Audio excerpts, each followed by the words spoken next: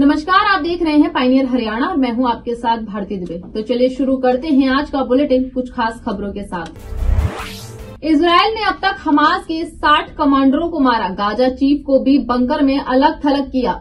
जमीनी हमले में 130 सुरंगें तबाह। विवादित बयान के बाद सठिया गए शर्म करो, उम्र का असर अंतिम समय। माफ़ी मांगने से पहले नीतीश को सुनने पड़े ये कठोर शब्द। हरियाणा में आएँगे आज आठ राज्यों के हेल्थ मिनिस्टर नॉर्थ रीजन में आयुष पर मंथन केंद्रीय मंत्री पहुँचेंगे, लेकिन अनिल विज रहेंगे दूर। जयपुर में इस बार हाथ में चलने वाला रॉकेट खास, एक रुपए से लेकर बीस हज़ार तक का पटाखा 200 करोड़ का बिज़नेस होने की संभावना।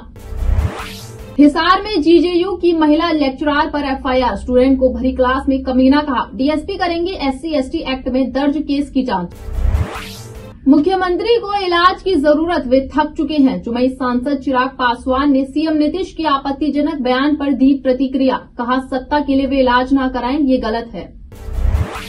दिल्ली में ओला उबर टैक्सियों की एंट्री पर रोक। एक्यूआई 440 एक हफ़्ते तक जहरीली हवा से राहत नहीं। सांस लेना 10 सिगरेट पीने के बराबर।